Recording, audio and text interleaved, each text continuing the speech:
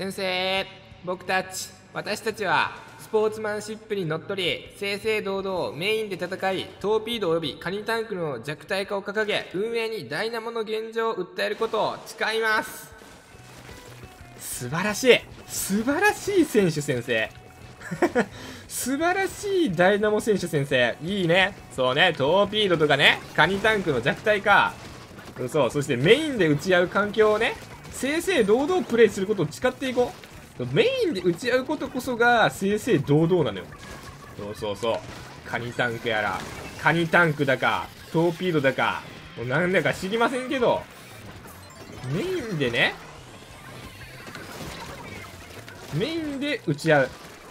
ダイナモローラーがダイナモローラーが楽しくプレイできる環境が一番おもろい環境だと思いませんか？結局。ダイナーラーがちゃんと戦える環境が一番面白いと思っているんやけど、僕2の頃からずっと言っている、これ。ダイナモローラーが結構戦える環境って、別にダイナモローラー武器の特性的に、その、キル速度では絶対負けるから、でもそれでも割と戦える環境っておもろい環境やと思うんやけど。なんか明確な弱点はあるやん、ダイナモローラー。強かったとしても。からさ、よくない？いいバランスの武器だと思うんだけどな。あ、ああ、長。やべえ、食ワンダー枯れないのめちゃめちゃ悲しい。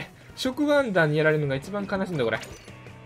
あ、どうも、パンケーキでーす。毎日大脳生活28日目かな？合ってる？その毎回わからんのよな、僕。毎回何日目やけっても。ほうこおい、リッター。あと、このゲーム、ほんまにあの、リッターの射程が本当に、長射程で角1っていうのが、もう、えぐい。長射程で角1の武器があるからこそ、この対面が起こらない環境になっているのではないか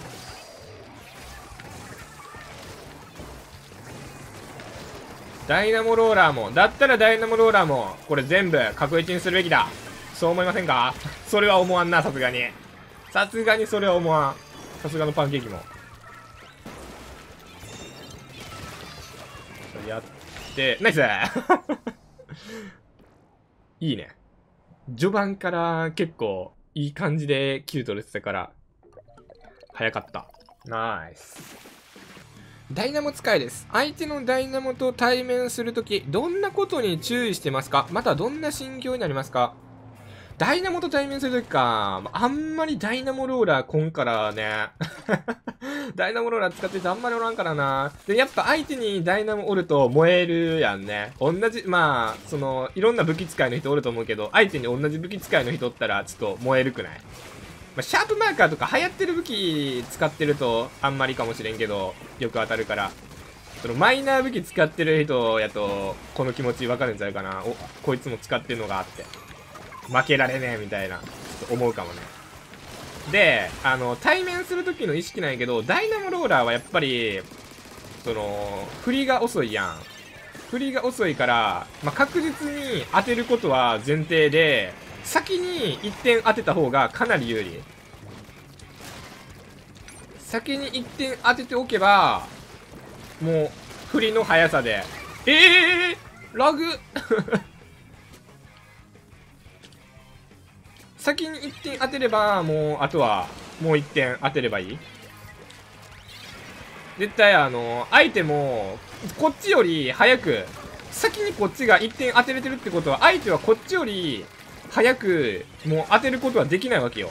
どんなに頑張っても、振りの遅さがあるから。うわーなんだこいつ？なんだこいつ？なんだこいつ？ちょ、負けられん理由ができた。あいつ、あいつラグいくせに煽ってくるな。ラグプレイヤーが。うわ当たるかいいねいいねそれ。ナイスナイスオッケー。あえて射程短めやから、これ、ダイナモローラーで突っ張っていけそうな気がする。ちょ、ローラーだけ気をつけよう。ローラーだけ気をつけて、ナイス関門突破。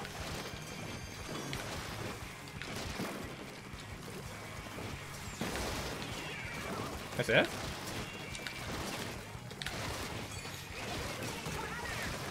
カーボンどこだ?カーボンあっちか?おい、リード。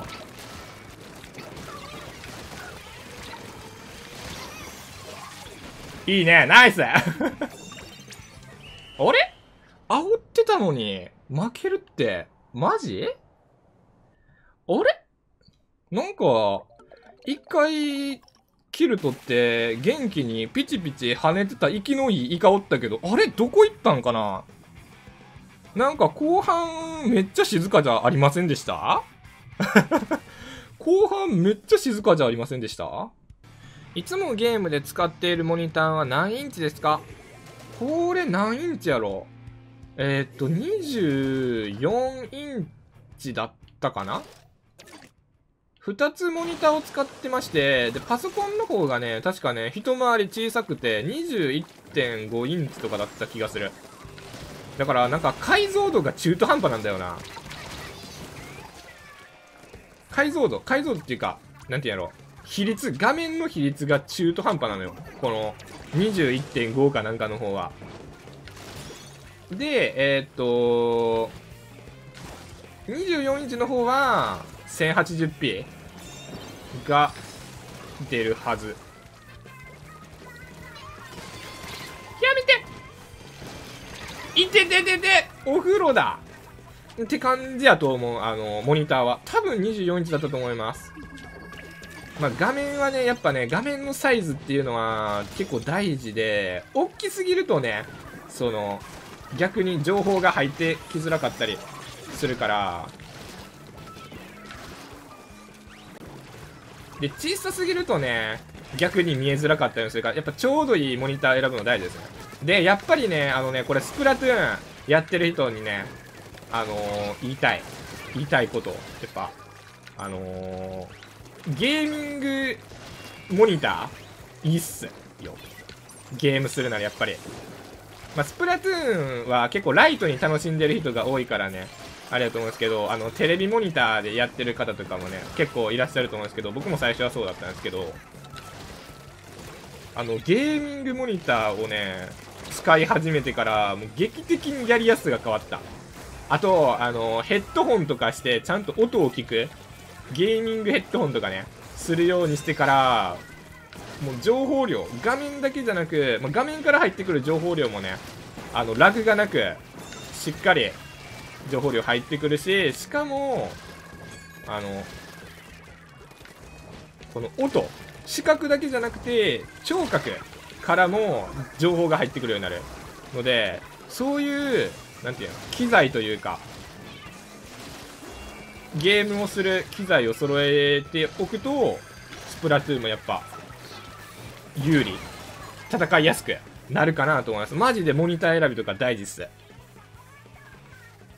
で、まあ、スプラトゥーンはね、あのー、そもそもスイッチが 60fps ぐらいまでしか対応してないから、あの、120fps とかのが出るモニター買っても、あんまり意味ないんですけど、まあ、いいモニターであればいいモニターであるほどいいんじゃないかな。ちょっとあんまり僕もね、わからんのよな、その辺。詳しいわけじゃないから。まあ、そもそもが出らんから、あんまり意味ないんかもしれんけど、まあ、いいモニター持っておけばね、他のゲームやるときとかは、やっぱり使えると思うんで。なんだそのお風呂えぐいえぐ風呂あ、しかもこれ飲めてなかったくそせっかく置いたのに。持っていけるかなあ、割れていない。おい。多分落とそうとしたんやろうな。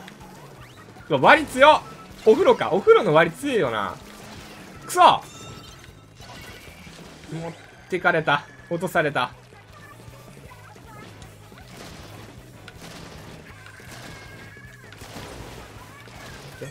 やべえぐいめっちゃ当てられた。お風呂。くそ、お風呂マジで苦手なんだよな、対面するの。対面するのっていうか、もうお風呂の泡を垂らされてるだけでめっちゃきつい。苦手。苦手意識ある。あ、あえて回線落ちしたぞ。なんか最近回線落ち多い気がする。